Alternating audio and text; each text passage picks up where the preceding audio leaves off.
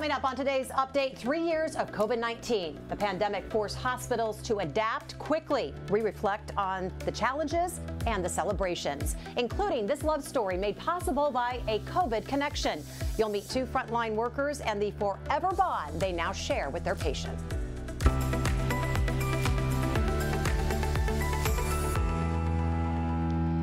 Good morning. It is Thursday, March 9th. I'm Jessica Lovell, and welcome to the Morning Medical Update. Three years ago today, back in 2020, doctors admitted the very first COVID 19 patient here at the University of Kansas Health System.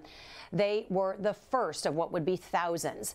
Soon, there were lockdowns, face masks, and a global push to stop the spread. Today, we are reflecting on the pandemic with those two doctors who helped really guide us through the anxiety and the uncertainty during that time Chief Medical Officer Dr. Steve Stites and Medical Director of Infection Prevention and Control, Dr. Dana Hawkinson. They were familiar faces. People tuned in every day just to see how things were changing mm-hmm. really hour to hour. So we're going to talk about how, where we are now where we may be heading, and of course, we're going to take a look back. So, um, but we're also taking your pandemic questions. If you've got them for the docs, send them in to YouTube, Facebook, and the Medical News Network. You can find links to those right there on your screen.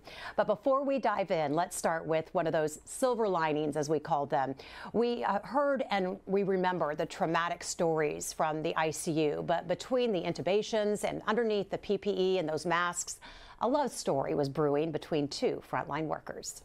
So you're not working from home anymore? Meet Tony, Bethan, Richard, and Candice. Three years ago, they were complete strangers. But leave it to COVID to change all that. It was during the darkest days of the pandemic that ICU nurse Bethan noticed the new guy on Unit 61, respiratory therapist Richard Ulin. And I remember just watching him walk past me, I was like, he's kind of cute. But that was about it. She kept telling me she wasn't ready to date. So I had to kind of just keep asking. What started as two colleagues leaning on one another for support eventually turned to more. A lot of times, what we would do to kind of cope with how difficult COVID was is we would go out after work and we'd get dinner together as a group, and we ended up going just to dinner one night. The rest was history, as they say, except there was another man in Bethan's life who was desperately fighting for his own Tony Gutierrez remember them telling me, you know, it's time to put you on a ventilator, and and I wasn't ready for that. I was like, no, and they did a FaceTime call with my families, and I said, all right, well, I'll fight this. Said, you know, told them I loved them, and honestly, I thought that was my goodbye. Didn't want to say goodbye, but uh, that was my goodbye.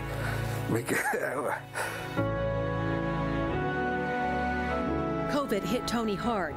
His devoted wife, Candice, documented his nearly three month hospital stay, including the care Richard, Bethan, and the medical team provided. Some of us were so sad because he had young kids, and that was what really kind of hit us in the heart. And then when we got to talk to Candice, and when Candice came up, then we were like, Tony's gotta, gotta make it. we're gonna do whatever we have to to make Tony make it. Hung on, and before long, this pastor, husband, and father of three came off the ventilator and began trying to get strong enough to get out of room 6112, while also bonding with his special friend, Bethan. I just remember her telling me about Richard, and she's like, he works here and he's out there, and and so like you know him being at the desk and and you know, and I'm like, oh okay, you know, I think I asked her if they were you know what was going on, and she's like, he's taking forever to ask me to marry him, and so and so you know, I'm I'm pushy, I'm a, a minister and just just pushy guy, and so I was just like, where's he at? Bring him in here. And with his not so subtle nudge to Richard, he set himself a goal and made a promise. It's like, hey, uh, I'll, I'll do the wedding when you guys get married. You know, when I get out of here, I'll do the wedding. First, their patient, then their friend. Tony kept that promise, made it out of the hospital, and married them right here in their backyard. Tony's basically family at this point. A family that keeps growing. He's so cute. Meet eight month old Graham, Bethan and Richard's son. Another bright spot in this story and proof there is life after COVID. I love them and what they've done for us. We can never say thank you, and I feel like being a part of their family and being able to tell Graham how his parents are rock stars, and um, it's just a joy. Those rock stars are joining us this morning. Bethan and Richard and Graham and Tony and Candice, so good to see you all. And just thank you so much for sharing that really uplifting story. How are you guys doing? Good morning. Good morning. Uh, good morning. We're doing great. We're glad to be here and excited to, to be on this morning with you guys. Well, great. I just it's nice to have you here as we reflect on three years, three years to the day anniversary of our first patient. Beth and Richard, what do you both most remember from those first days? I mean, really, no one knew what was coming. Gosh, um, I took care of my first COVID patient on Friday, March 13th, and I think that's a day that will kind of stick with me and kind of uh, stick with all of us. But yeah, we just had no idea what was going to happen. And I just remember we were just kind of like sitting and waiting um, those first few days. And when that first patient came in, we were just kind of, I don't know, jumping into the unknown, I guess. Yeah, for sure. Richard, what do you remember? Yeah, I think the biggest thing I remember is just everything was changing every day. I remember for you know the respiratory side, we'd get an email from our manager every single morning with basically the new the new rules of the job. You know how you do your job. Mm-hmm. It's changed every single morning, so just different every day. And Bethan, so interesting because this was your first year. You'd only been a nurse for six months in the, in the ICU when COVID hit. Um, you had told me once that there were days it was, you said this, body bag after body bag. And that is a lot for even the most seasoned healthcare worker to have to deal with. How did you manage that? Um, I think when it was, you know, actively happening and when we were just like so intensely in COVID, you just kind of had to get through it. Um, I mean, it's true. There were days where we were like having to take body bags from other units, and it was horrible. And I, but I think you know when you're in the middle of this like high adrenaline, constant barrage of like very critical patients, you just kind of get through it. And I don't think it really hit what was happening until months, like almost a year later when you kind of looked back and reflected on everything that you've been through. I think that's when everything hit. But I think in the in the time, it was just you just had to get through your 12 hours and you had to do what you could for these patients and you just kept on doing it because it was just what you had to. And I remember you telling me back then, you know, of course visitors were allowed in in so many cases and families were saying goodbye, their final goodbyes on iPads. Um, you said that those moments have and continue to stay with you. Tell me about that. Yeah, so a lot of times, like Tony kind of alluded to in the video package, we would, before we put someone on the ventilator, we would give them every chance to try and talk to their family one last time just in case. Because um, you never knew. Sometimes people did really well on the ventilator and sometimes they never came off. And so we would give them the opportunity to talk to their family. And it was, I mean, I would never want someone to be in that position ever again because it was horrible. It was, you know, the most potent emotional feeling. Um, sometimes patients were on BiPAPs, so their family couldn't understand them. So you were kind of translating what they were saying. Um, you know, there were couples who were married for 50 years who were saying their goodbyes. There were parents saying goodbye to their children. And it was, I think that is the one thing that I think will kind of forever haunt me about this. Um, and maybe forever stick with me, but something that like I really, I think that probably was the one thing that really like kind of sent me into therapy and made me kind of talk through everything that had happened because it's just such a brutal experience to a perfect stranger, you know, spend that really intimate moment with them and not be able to have their family there. And Candice, you were one of those. You were a spouse unable to be there in, in many cases in the beginning. And I know you were doing some communication um, over the iPad about when Tony was going to be going um, you know, being intubated, such a scary time. But what was it like um, for you at home and, and watching this from afar? Um, it was every bit of horrible, as Bethan said, um, not knowing him being so uh, healthy and active, and then within six days, him going to just steadily declining to being put on the ventilator. And um, I'm not from the medical world, so everything that was happening was just so far over my head that I couldn't understand what was going on and the rapid decline in his health and. Um, even from that morning when I got uh, the his FaceTime and he was telling me that that he had no other option and we were here and just waking our children up. Um, yeah, still gets really emotional. I know it does. Um, and Tony, sadly, your story really wasn't unique, except that you were able to make it through with your faith and family and friends and these guys that we see here today. Um, what do you remember most about your time in the hospital? you know, I, I, think I just remember the most, and I say it over and over again, you know, just um, care that I received, but the care that my family received.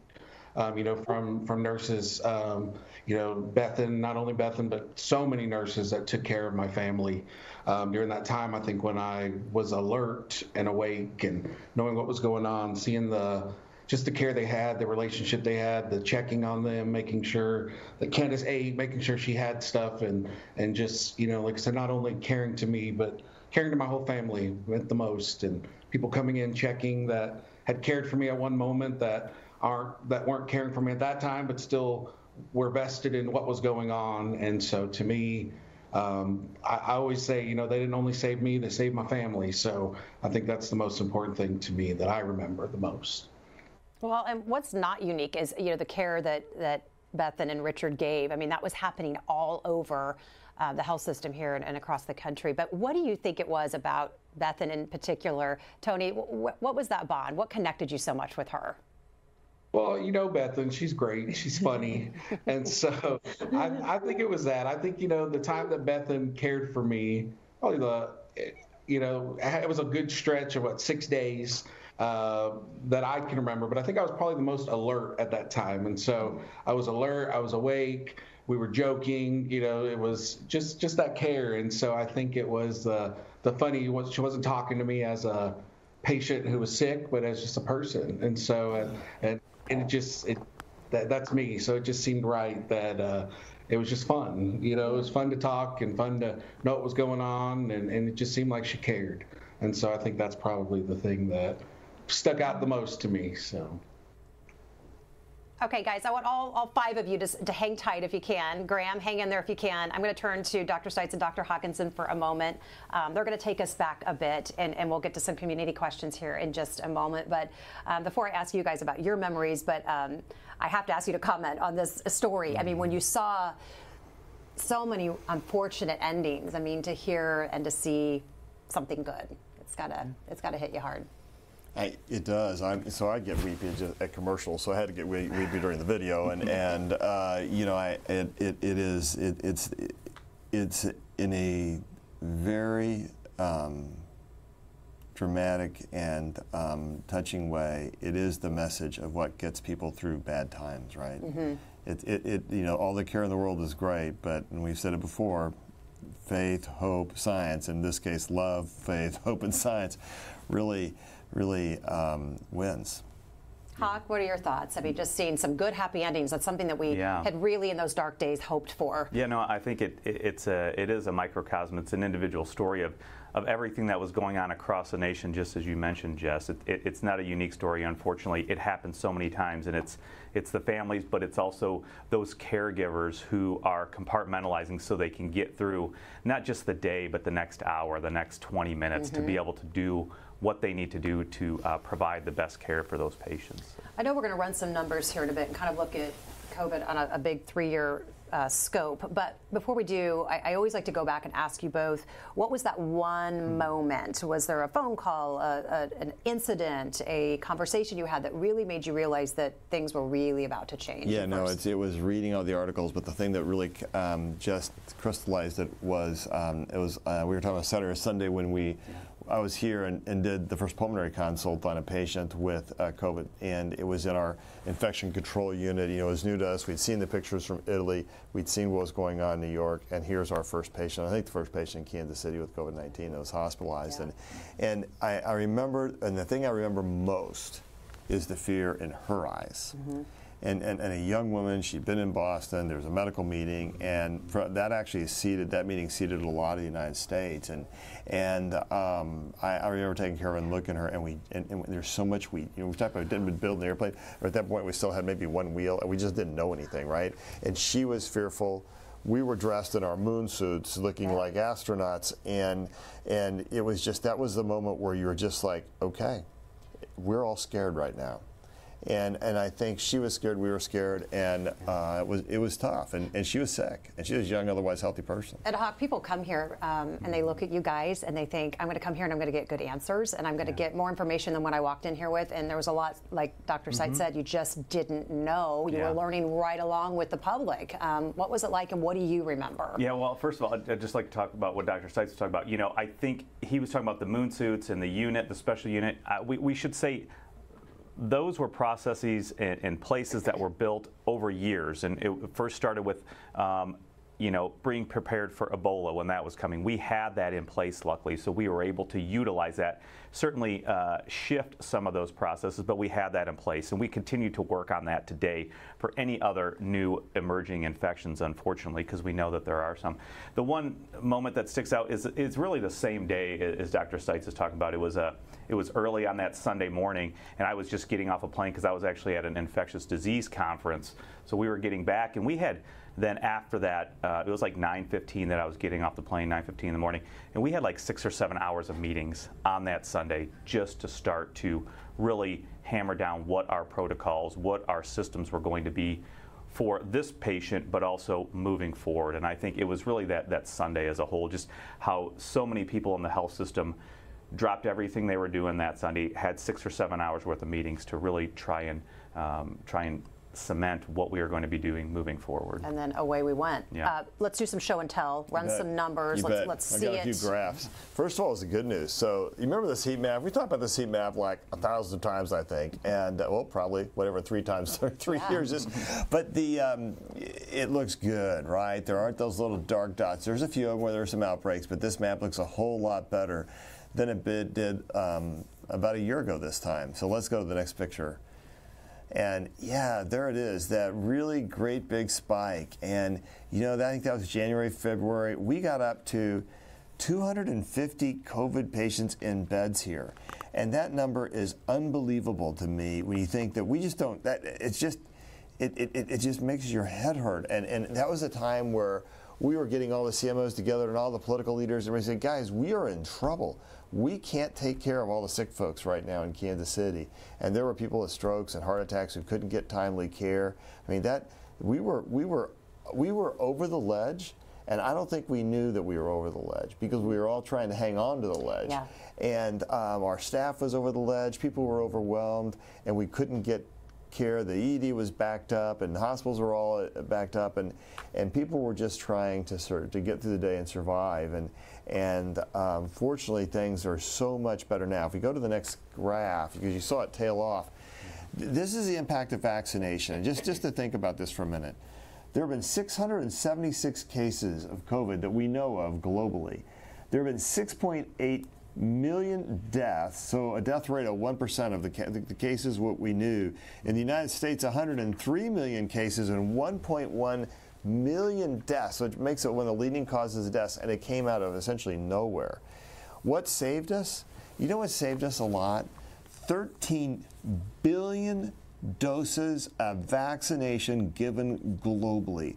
And there's still, I don't know how, but there is still controversy out there, but 13 billion doses, and people still want to worry about whether it's safe. I'm telling you, that is the most used drug over the last five years in the world 13 billion doses. And you watch the curves fall. If you go back, can we go back to that prior graph for just a moment?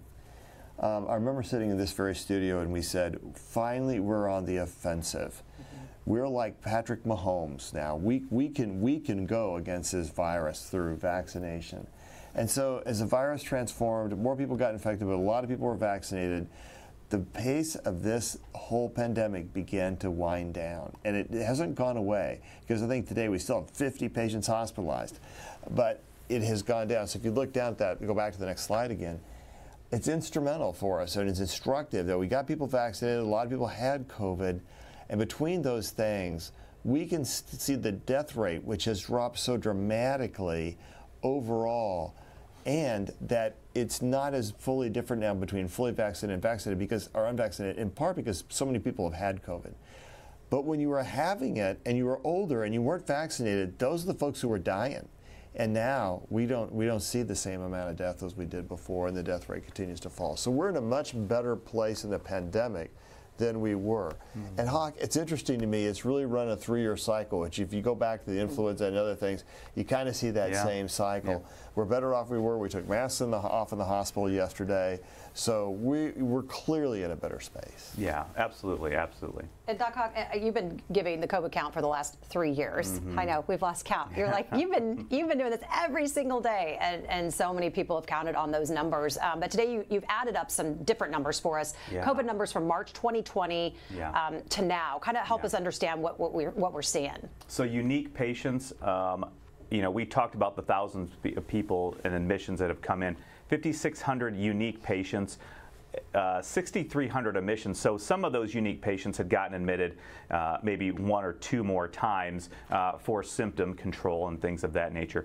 Average age is 57, but I would uh, like to, to comment, you know, that average age, if we took the last year, I would say that average age has probably increased. Um, I think a lot of that average age is from when we had the bulk of our patients, and probably those were definitely a a broader range of younger patients and older patients. What we're seeing now is certainly kind of tending toward going those older patients, but especially those patients with um, significant comorbid conditions as well. The next thing we have is our, uh, our ICU patients and deaths. So we've had 1,400 ICU patients. Uh, of those, we've had 835 that were ventilated, and deaths 1,100 as well. And what I would like to say is probably when you take COVID 19 and you compare it to all of the other respiratory viruses, including RSV, influenza, over three years, we would not see anywhere near those numbers. And that's the impact of COVID 19. And it's not close, right? It's No. not even close. If we see deaths from influenza in one year in our hospital, it's nothing like that. Correct. And in Yeah. the last, Yep. three- I mean, it's just not Yeah. even close. Okay, so I, I learned a lot during this time. A word that I had not heard of was proning. Um, we have some video uh, of the COVID ICU unit showing what it was like to prone a patient. And I want to bring back in our guests because Richard Bethan, um, this is basically it takes a small, large team to flip someone over on their belly. I mean, these were these were some of the, the last ditch efforts to help somebody breathe, right, Dr. Stites? I mean, this is helping your so, lungs. Yeah, yeah. So, co- so proning like this is not a new thing. We've been doing it for years. But what happened with COVID is, it was very dependent. The impact of COVID was very dependent upon where the virus went. When you lay on your back, the virus is going to the back edge of the lung, Mm-hmm. and so it was really something we had to do to help um, get airflow to the good part of the lung. And, and it is a, a really um, talk to us a little bit. I, I can't. I, I've seen the the images, but uh, Beth and Richard, kind of tell us exactly what's involved in doing this. it's really um, it's one of the like biggest team efforts I remember. It, I mean, we we would have these, you know, days where there was five, six people on the unit where we had to flip them all, and we kind of go room to room. But then you have to have an RT there to manage the ventilator. You have to have one nurse managing all the lines for the patient, and another nurse that's you know managing the lines at the other side of the bed, and then more people just for like the manpower and. Uh, you know, some of them you would get them flipped over, and then you'd either have trouble finding their vitals, or you'd see them go down, or you know, you'd have a lot of issues come from it too. So then, you know, add on top of that that there's six other patients on the unit that need the same group of people to flip them. It, it was a lot. Um, a, a lot, time. yeah. And I know, Richard and Beth, that you, you guys did this to Tony many, many times. Candice, when you got the phone call that they're going to be proning Tony, um, had you heard of that? Did you? What were you thinking? Um, what were they telling you? Yeah, no, I had no idea what that meant. Um, I uh, he normally sleeps on his stomach, so when when I would FaceTime him and get to just talk with him, I would notice there were times when he was on his belly for a good amount of time, and then there would be times when he was on his back and. Um, yeah, and they, they did it longer for him than what I think the regular protocol called for. I think they did it three times the amount um, for him. Well, they were doing something right. Um, Dr. Hawkinson, I know you spent a lot of time up on the ICU units uh, checking on patients. Um, we, we followed you one day um, just to kind of get an idea of what your life was like up there. But what, what kind of care were you providing some of these patients? You know, unfortunately, early on, it, it wasn't much at all. I had one patient ask me, What can you do for me? This was very early on in one of those local uh, facility outbreaks when a patient had come, and there was nothing I could do. Um, you know, it continues to be helping with the supportive care, looking for other infections. But as time went on, we were able to have better therapies. We had remdesivir. Of course, the steroids were being implemented. So a lot of it was just talking with the patients, trying, kind, trying to explain what was going on with them as well, what was going on with the virus, what we knew. So a lot of it was um, not necessarily physical, but probably more emotional and mental, and just really talking through with that patient. Obviously, they weren't intubated at that point in time, but Luckily, later on, like I said, we were able to develop and get some antiviral therapies to help a lot as And this well. is how you were spending your days with patients, but you'd kick off your day every day down here in the studio. And Dr. Stites, you know, we started this program um, really to update the media in those first few did. days, hour to hour. Media was calling our office down here so much, and we couldn't keep taking you guys away to do one-off interviews. So it was like, well, let's just get everybody on one call. Let's get all the doctors down here. Um, it really was a way to inform the media, but then it really turned into education for the public and, and a place for truth. Um, talk to us about that and, and, just sifting through and answering those questions um, that were coming in so fast and furious from the public. Yeah, you know, yeah, and one thing that Hawkeye mentioned earlier, the number of hours we spent on a Sunday, and, and that went on for months as we tried, and we had started it in February. As I remember, I tried to go someplace with my daughter in Utah. I was like, dear, I'm going to spend the entire time on the phone. And we did, because we were talking so much about it. And that was in February, and then we were ready for March. We had seen the things in Italy. We knew it was in the U.S. We knew it was coming. And then the questions were rolling in. And Hawkeye and I would be down here in this very studio, and there would be a phone. The phone was right here, and we would huddle around the phone together because you know, God knows, we didn't know about in- infection control back then, or at least we certainly didn't know about all the things about COVID, around SARS-CoV-2. Yeah, and then all the reporters were all right there, and we're all in this room, and the doors were closed, and you're like, you look back on that now, it just makes your heart hurt because we did it so wrong. But the, but I think what we've learned over time is that the most important thing to do is you don't flapjack. You don't flap your arms and jack with the truth. You got to just tell people how it is in a calm, reasonable, thoughtful voice. Um, making sure that you don't come across as some you know dire end of the world person, but rather, I I think trying to sh- talk a little bit about hope, trying to talk a little bit about trying to work together to keep each other safe, and then relying on time and science to help develop more answers. And in doing that, we can keep help keep us uh, keep a community safe. And that was really our goal. And and and our and, and the key to our voice was just to tell the truth and and, and be calm and thoughtful and, and, and logical about it. Well, you just said it, and you said our voice, and I think that's what people really remember. Both of you, for sure, but Dr. Stites, your voice, I think. I always, use- I always. Com- I sound like Mahomes. I know. I got this. Exactly, I'm also right? a froggy voice. I But get you it. know, yeah, yeah, I get but that. I always relate it to when I'm. I don't like turbulence on an airplane, and so when I sit there, and I, I always look at the face of the flight attendants, and if I see panic in their face, that's, That's when I know I need to panic. But when I see mm-hmm. calm and I see them buzzing around and checking things and going down the aisle, and they seem like everything's going to be okay, and I think. That's what you reminded me of is that if you get on here and, and you're amped up, then maybe there's something to worry about. But it was that calming that I think people yeah, I felt think like. we both tried to stay pretty Absolutely. calm because we knew what the rules of infection control worked, mm-hmm. and we had community lockdowns and people going in and things. Because we when you saw the things coming out of Italy and the amount of death, and then you saw it hit England, and then you hit it hit New York, and you were like, you know, we got to be ready for this. Mm-hmm. And so I, people say, was that the right thing to do? Given what we knew and mm-hmm. what we had seen. Absolutely, And that was was, the right working. thing A- to do. a lot of those oh, things oh, it was place were working. working. Because when you did that, the numbers began to fall, mm-hmm. and then you could bend the curve. And, and how many times in this community did we get like the chief medical officers together and talk to politicians and talk to community leaders and talk to everyone and say, school officials, and say, look, guys, we just got to bend the curve. It's not forever, but it is for some time. And, and the thing is, what happens when you overwhelm the health system with COVID mm-hmm. is you just don't affect the COVID patients. You affect every kind of patient because you can't get care. And so that's what we were that's what we were grappling with and and I think that uh, fortunately we live in a community where people responded to that. And and so no, we try to be calm, we try to be rational, we try to be thoughtful and we try to be honest. But when things were beginning to ratchet up like it did in January and February of 2022, it was time to say, guys, we got to run the alarm. Yep. Because this is a more dangerous point. Uh, just lastly, before we get to any of your questions, I, I wanted to talk to you, Dr. Hawkinson. We, we uh, yesterday the health system relaxed its mask rules. Yeah. Um, I know you had mentioned you'll probably be you and your colleagues mm-hmm. will probably still be wearing masks. It's it was hard for me to even walk out in the hall yesterday without a mask. I'm not mm-hmm. used to that yet. Um, just real quick, your both of your comments, uh, uh Dr. Hawk. I'll start with you, just about um, kind of yeah. a new day. I mean, I think a, a lot of the caregivers and care teams, you know, have not liked the mask for many reasons. Um, patient care, it, do, it is kind of a, a, barrier to communication a little bit, especially with someone who's hard of hearing, but just because it's uncomfortable. Uh, but surprisingly, yesterday, you know, walking around the halls and, and, treating patients and seeing patients, there continued to be a large mm-hmm. number of, of, providers that were still wearing masks. So I think it probably will decrease as time goes on, um, but I think it is certainly good right now that people are still doing it, and, and we'll just kind of see how it goes. I know I'm still wearing it, uh, seeing patients as well. So. You know, how many times did we say on this program that this is all balance yeah. between quality and quantity of life? Yeah.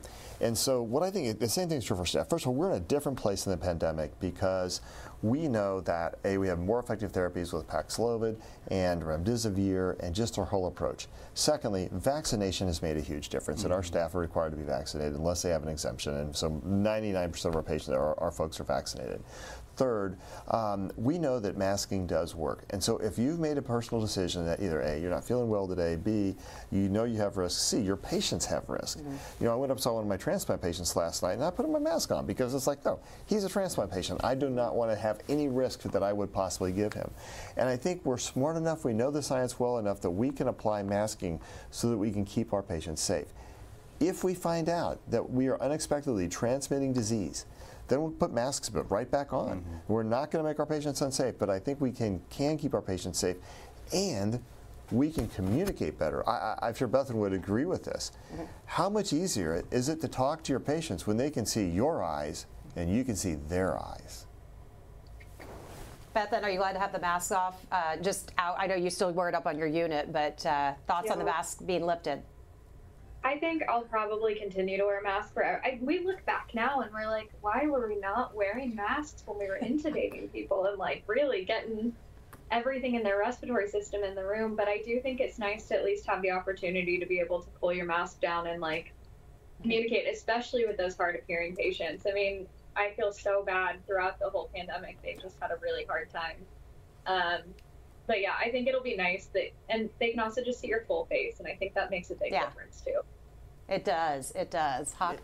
I think to Bethan's point, you know, when she said, why weren't we wearing masks when we were intubating patients? I think from an infection prevention standpoint, this masking these past three years has also helped greatly in reducing the risk to other patients, but also our employees for other diseases such as measles. We know there's our, there are measles and mumps outbreaks going on. Uh, exposure to when we have uh, active tuberculosis patients. So it has helped reduce their risk of exposure as well. So overall, from an infection prevention standpoint, it has been very good also. Dr. Stites? Well, Jess, I was here on Sunday having to talk to an end-of-life type of conversation with a, a family, and, and, it's like so nice to be able to see them face to face. Mm-hmm.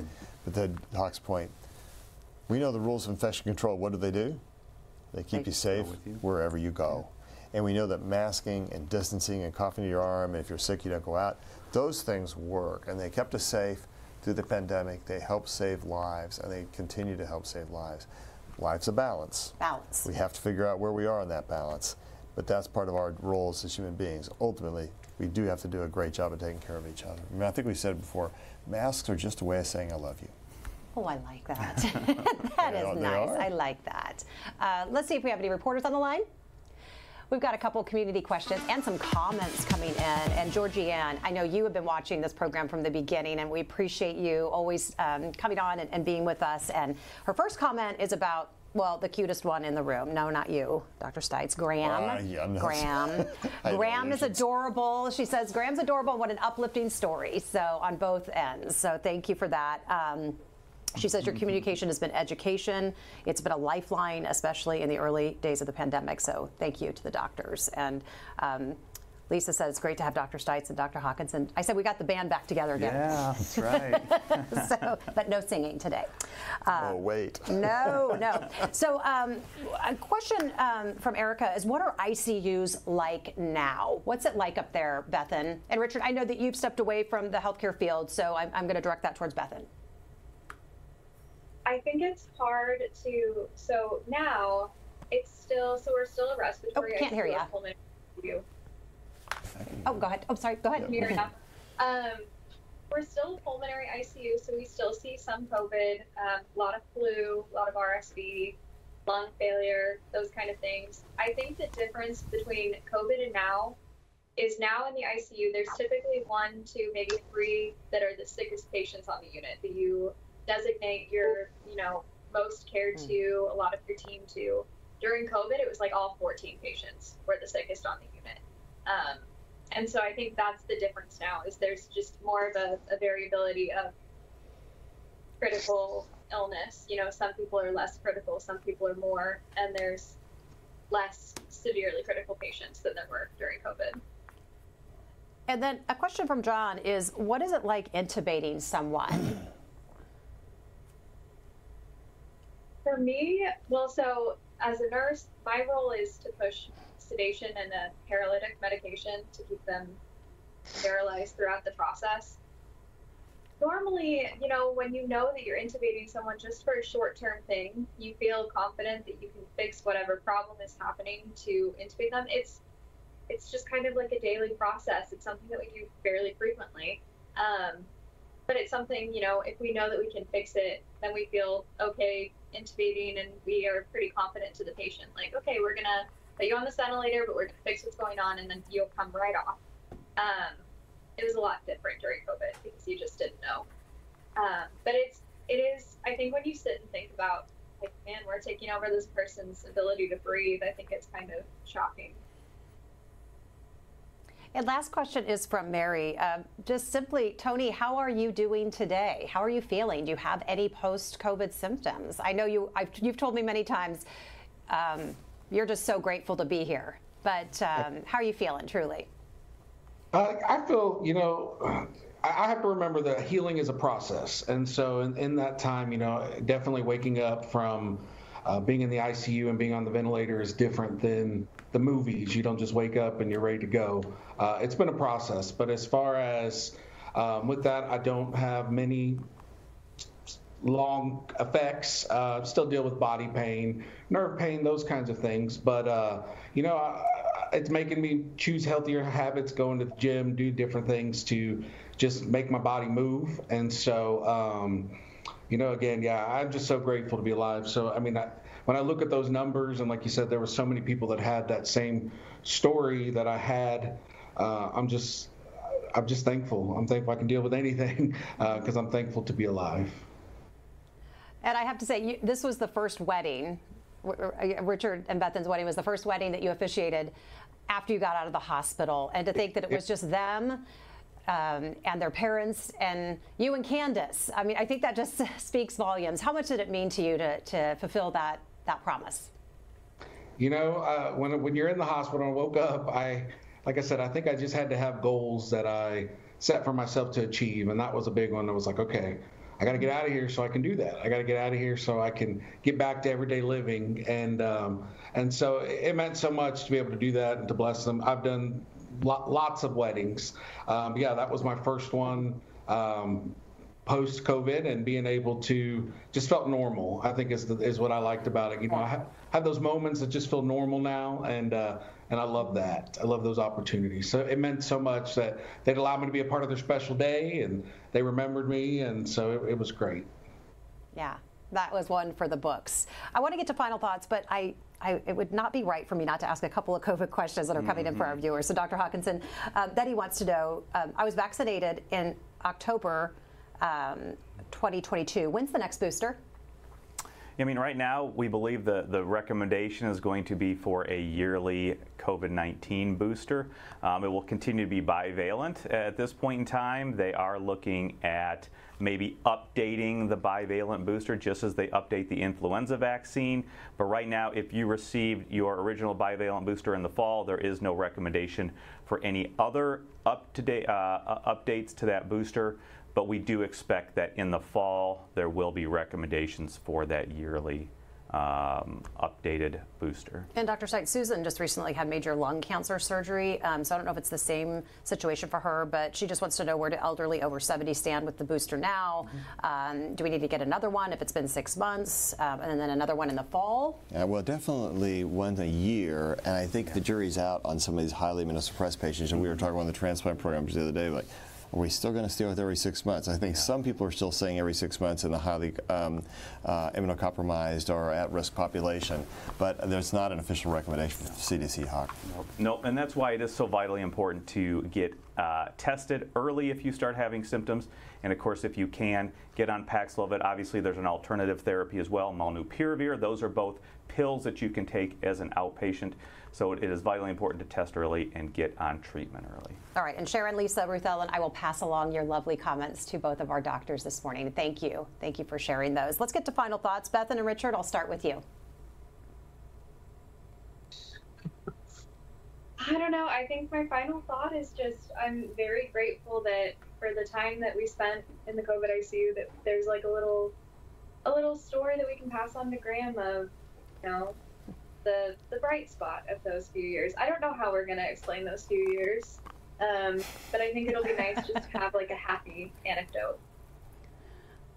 Uh, uh, no, it is not lost on anyone. Um, it, it, it, really is a, a, story to share. Richard, any final thoughts? Anything to add? Yeah, I think kind of the same thing. I mean, it, it was, um, like you said, I'm not in that career anymore, but it was something that I think I'll I'll cherish. Just all the memories I have with the whole team on the the unit up there on 61. So being able to tell those stories kind of going forward is definitely something uh, to remember for Graham and for us. Mm-hmm. Thank you both for, for letting us share your story. And, and Bethan I have been speaking with you over the last three years. So um, we spoke when you were just a nurse, and then you told me about Richard, and you said, I've met this guy. And um, so I've been waiting to share the story. So thank you for that. We will let Graham get back to his morning nap. Um, and Tony and Candice, I'll let you uh, share your final thoughts. You know, I just think it's. It's just great. It's great to, you know, I have such gratitude in my heart to, to be here and uh, to be able to share the story, um, to build the relationships that we built. And, and uh, yeah, that light came out of such a dark time in my life and in my family's life. Um, you know, getting to stay connected with um, with Bethan and Richard, with other nurses and, and doctors. Uh, we're friends on Facebook, and so it's cool just seeing what's going on in their lives. And you know, my church is right down the street from KU, and so I get to drive by and and you know and be thankful and, and pray for the people that are there. And so um, it's just it's just great the relationships that were formed, the, the those times that, like I said, when I think of dark times, I can look at pictures and some of those things they just don't even seem real sometimes, but I know that they were very real. Um, and so I get to just have gratitude in my heart and be thankful that I'm here today and I get to share the story and get to be with my wife and my kids and all those things that I wanted that I wanted to do and, and were my reason to get out and keep going. So well, we feel we feel your gratitude. We appreciate your prayers as well, Pastor. Thank you, um, Candice. Final thoughts. Always good to visit with you. By the way, you are you truly are such a ray of sunshine, and um, the whole unit up there loves you the feeling is definitely mutual. Um, I just, I think I'm the same, just so grateful and thankful. And, you know, when we talk about those dark times and just even um, my husband going through that, me watching on an iPad for a lot of days. Um, and I remember I just kept thinking, I just need to get with him. I need to be with him, hold his hand, see if he's okay. And I remember the moment when I got the call, like, you can come up. And I, you know, went up. And I remember I was so nervous for what I was going to find. And, um, and he was just so taken care of. Um, like his appearance, he looked good. They, the nurses, the doctors, they just took care of of every every part of him, and and I just walked in and just felt like so relieved, and um, and, and so I just want to say thank you to Unit 61, to every um, doctor, nurse, every RT, just from housekeeping to his room. Everything was just so well um, taken care of. And, and the, I think I, would, I was sitting there day after day and I would watch them sacrifice their family time, their just just so many different sacrifices that the healthcare system made um, for us strangers. And and so I just never get tired of saying thank you for um, for just doing your best, for showing up, for loving, for for being my friend, and and and, and saying the truth, and and just being hope, and um, and just just doing everything you you knew how to do, everything you didn't do, for trying, and um, there we just absolutely are so grateful for you. Yeah. Well, right back at you, and thank you for mm-hmm. being our bright spot. We needed we needed these stories, and and and we love to hear them and share them. So thank you, all of you. We appreciate you, and stay in touch. And um, Tony, come by and see us anytime. You're just down the street. Just down the street. I will. Okay, sounds good. All right, guys. Yeah. Dr. Hawkinson, final thoughts today. Yeah. I mean, it feels good not to be doing uh, this show like we were for so long. Um, and that just means that we are transitioning, transitioning more to uh, pre-pandemic sort of life. But there are still steps to take, and we have to remember that disease is still out there. It is still in the community. So please take your personal health into that consideration and understand your risks be up to date with your vaccinations, just as Dr. Stites said. Get tested early. Get on those oral antivirals to help reduce your risk of severe disease and death. Uh, those things do work, and we would like to continue to move forward. We are. Um, and remember, the most important things as well, those rules of uh, uh, public health uh, uh, interventions go with you wherever you are. Uh, hand hygiene is vitally important, the alcohol hand wash or the soap and water. And of course, if you ever do feel uncomfortable in a situation, it's always okay to wear a mask. Dr. Stites, final words of wisdom today. Yeah, my final words. First of all, I could have done without having to go back to that memory of the iPads. So right. that, those were those were really really stark times, and probably in some way encapsulated mm-hmm. the whole pandemic. Um, this has been the best story uh, from love and then from the faith and hope of our healthcare workers, especially our respiratory therapists and our nursing staff, who really in many ways were at the very frontest of the front lines of the entire pandemic and uh, had some of the greatest exposure risks, both personally and professionally. Um, I want to say thanks to all of our viewers who listened and who were a part of this program, to our metropolitan area who listened. And I, I, keep coming back to the same point all the time. The intersection of faith, hope, and science is a powerful place. And when it's surrounded by love, wow, that is also a safe place to be. And as far as masking goes, I remember there was a song once I wanted to oh. sing that I couldn't, so I can only say it as a rhyme. What was the song again? You Sweet Mask of Mine, which could oh. be put to the words of Sweet Caroline, but Please of course I can't. Get us in trouble with Neil but Diamond. we can't do that. I'm not, going to get in trouble. But yeah. Sweet Mask of Mine, I have never felt so fine, so fine, so fine, so fine. They do keep us safe despite all the thing. Yeah. And when we do that, to make my final Star Trek reference, we can all live long and prosper. Wow, there it is. Your final well, for today, it'll, just for today. No, I mean, no, it'll never be final. Well, it'll live on, on next Wednesday? Huh. Dr. Hawkinson actually has one more thing yeah, to say. to his words, nobody wants to make Neil Diamond upset. But I would also like to really throw. We had a great thing. We had a great song about that. do it, don't do it. I would like to throw a shout out and so much appreciation because we are able to be broadcast and come to you because of the people in the production room. Uh, Logan, Cliff, and Anthony all worked so hard those first few years and we're up just as much as we were to get everything straight in that production room to get us to be able to beam out to you uh, wherever you may be. I love That's Beam right. Out. Yeah. Right here in the Dolph C. Simons Family be Studio. What? Beam Out.